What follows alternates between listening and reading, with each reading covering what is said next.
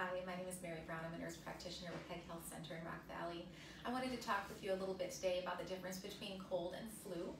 Uh, cold is really any variety of viral upper respiratory illnesses uh, that can strike during the cold season, which is typically between September and April of any given year. Influenza is what we refer to as the flu. It is different than the stomach flu, which includes vomiting, diarrhea, those sorts of things. That is not, uh, the stomach flu is not flu, influenza is the flu. Influenza is a respiratory illness and can be very severe.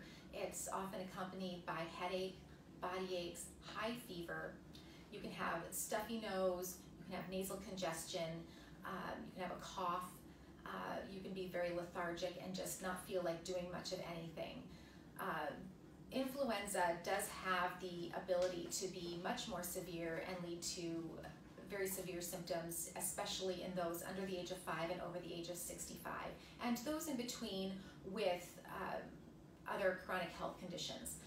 Even seemingly healthy people can fall very ill from influenza. Um, again, cold symptoms can include sore or scratchy throat, fever, usually lower in grade, um, runny nose, stuffy nose, nasal congestion, but they'll usually come on a bit more gradually and will not be as severe as influenza. If you have any of these symptoms, it's better to come into your uh, provider within the first couple of days.